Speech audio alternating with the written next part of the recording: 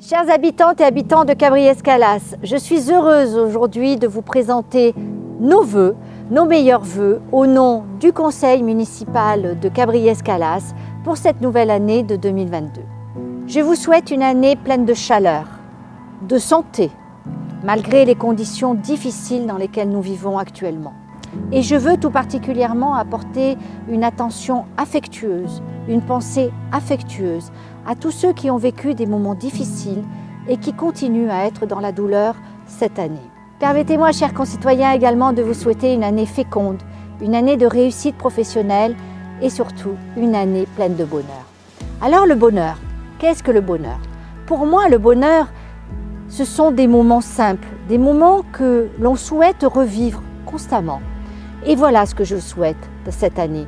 Je vous souhaite tous ici des moments simples de partage, des moments d'amitié, des moments de convivialité et de complicité avec vos proches. Voilà, des tout petits moments qui vont ponctuer toute l'année 2022. Voilà ce qu'on vous souhaite à vous tous. Aujourd'hui, dans les temps de doute qui courent malheureusement depuis quelques années, ce que je vous propose à vous tous, chers concitoyens, c'est d'avoir un regard fierté, un regard plein d'empathie sur notre belle commune, puisqu'elle le mérite. Nous avons une très belle commune et c'est ce que je souhaite vraiment partager avec vous au quotidien euh, dans, dans, cette nouvelle année. Eh bien, cette beauté, euh, cette réussite de Cabriès-Calas, nous la devons tout d'abord à nos élus ici présents, en partie, mais aussi à nos agents et aussi à nos associations avec nos bénévoles qui, à eux tous, œuvrent quotidiennement pour le bien-être de tous. En 2022, je formule le vœu que tout ce qui nous lie soit plus fort que tout ce qui nous divise.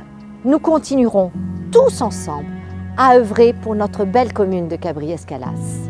En 2022, nous continuerons à faire des projets tous ensemble afin que notre commune soit dans la dynamique de la transition écologique et surtout où il fera bon vivre ensemble. Alors oui, à vous toutes et à vous tous, une très belle année 2022. Bonne